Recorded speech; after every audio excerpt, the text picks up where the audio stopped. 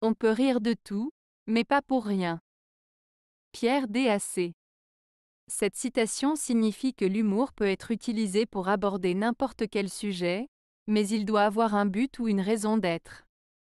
On ne devrait pas se moquer de quelque chose juste pour le plaisir de ridiculiser ou blesser quelqu'un. L'humour peut être une arme puissante pour susciter la réflexion, mais il doit être utilisé avec discernement et respect.